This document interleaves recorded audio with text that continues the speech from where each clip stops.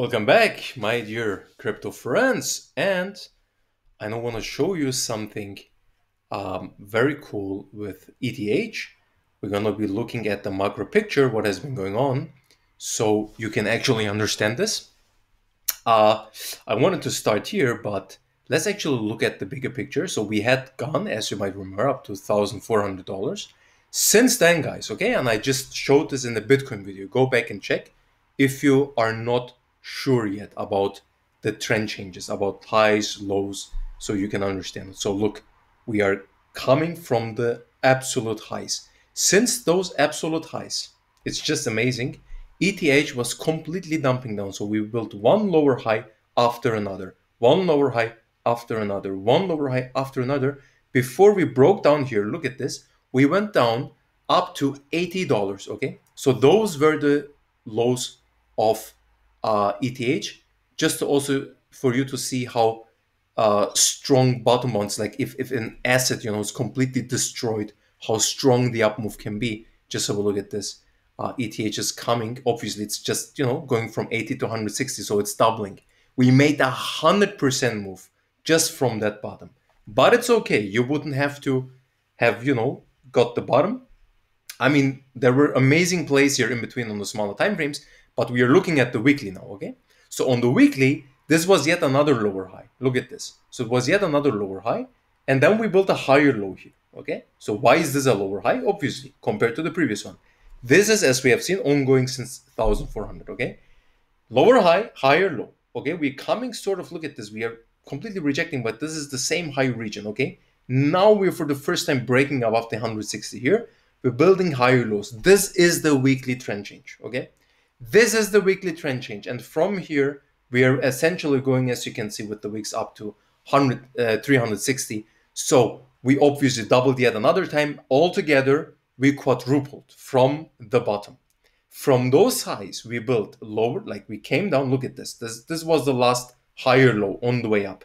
We in just one push, we broke them through, albeit just unclear because we have so many um, inside bars going on. So we could even say, okay, that's the first significant lower uh, lower low here, and then we have a lower lower high, and we get another lower low. But look again, okay, just at the number of dojis, of spinning top candles, of dojis, especially towards the end. So this is now the one, two, three, four, five, six, seventh week of indecision candles with ETH. Okay, this is major. So the seventh week where we have not not rather uh, decision candles, but look, this was the last one.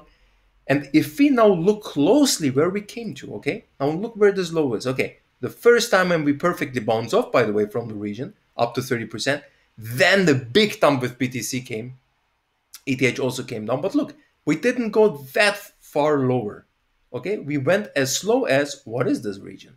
Oh, it's the 160. Look at this. So ETH is literally trying to uphold this previous region when we had now doubled yet another time. We are trying to uphold the region. If you just discount those ugly wicks, we have essentially managed to uphold the 160, okay? And now we can go to one time frame uh, smaller. So we can zoom into the daily. And if we zoom into the daily and have a look what happens here. So this is the first time when we touch this region of the 160, sort of 165, okay? Perfectly bounced. Then BTC sells off. Yet again, we come crushing down. Then we build a beautiful double bottom here. Okay, like how can you see the double bottom always perfectly with the W? Okay, that's always the best pattern how you can see it. If you have like a sort of a clear bear channel here going on, and then you have your pullback high. Okay, so this is the first low. This is called the pullback high. Then we are coming down in the W shape. We're building the second significant low. But look what happens. Okay, so does this double bottom potential get confirmed? No, it doesn't because we are stalling at exactly the pullback high. And this is where we are in, okay? If we want to now put in, uh, uh you know, uh, the trend lines, we get a beautiful equilibrium range. Look at this. So this is even on the daily. Look at the last one here. I prolonged it so, I mean, here it's not respected, obviously, but you get the highs here so you can see it, okay? So we get beautiful highs here one time. I mean, the lows, I don't even have to mention quite a few times here. Basically, just grinding. We get the highs yet again here. And now, since BTC has rejected, we could even have made a triple top here. And it is, it is a beauty, okay? And like we have just said, if we just zoom out, okay? I mean, if, if I just take this, just scroll this longer. I mean, you can perfectly see this. I can even make it like this. Let me just actually um, get the rectangle. Okay, and let's let's just look at that range. Okay, so that's the range. This is the range we are in. And look, okay, just pay close attention. This is exactly where ETH eventually broke that sort of 160. I mean, even in this try, we came up to 180, but we consolidated it again before the big push came. Okay, so this is the same region. Okay, this is exactly the same highs here 187. Look at this. Okay, 190. Where are we right now? Look at this 192, 194. This is exactly where we're in. Okay, 192. We are basically between the 190 up to 200 psychological, you could say. So, what is the potential? Okay, what is the potential if we take the zone out? I hope you can see it. Let me let me show you with the with the measure here.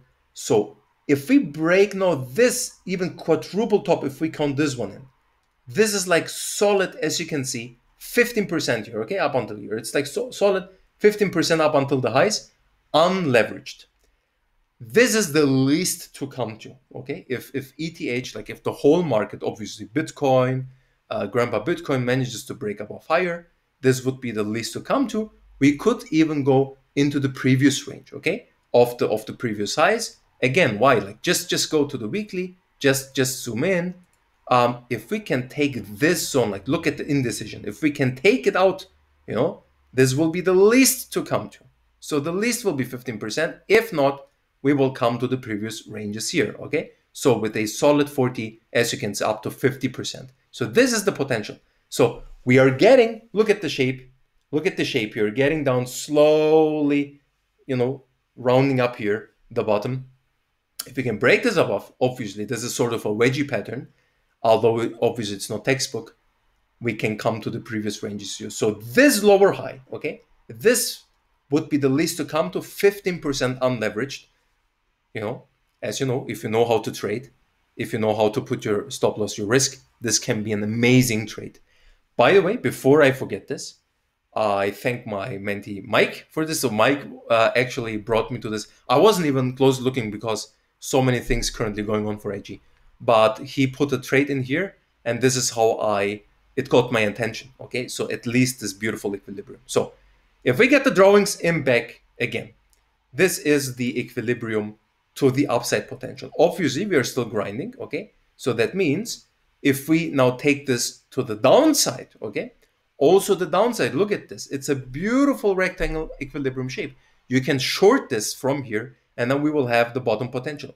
11 up to again 15% okay? So 11 up to 15% unleveraged to the bottom where we had this w where we had the double bottom going on.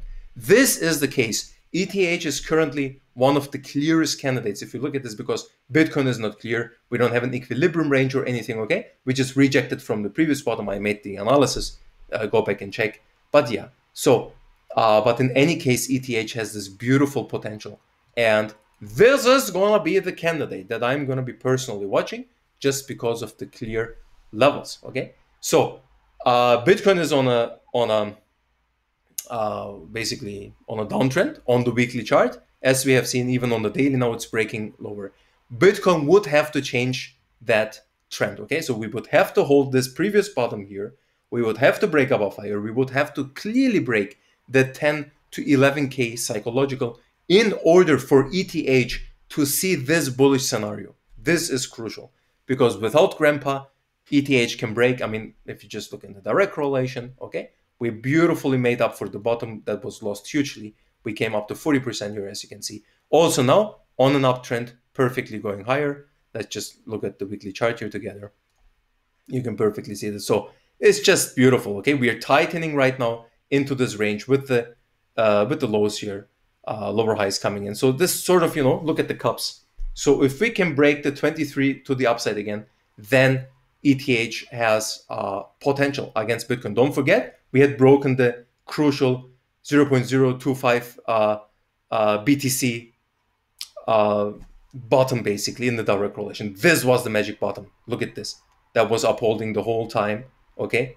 I this was one of my last posts maybe two months ago at 30% loss. So since here uh, we had broken down, look at this, to the bottom, okay, 30%. Now we have bounced off and we are almost, almost come to the to the range here.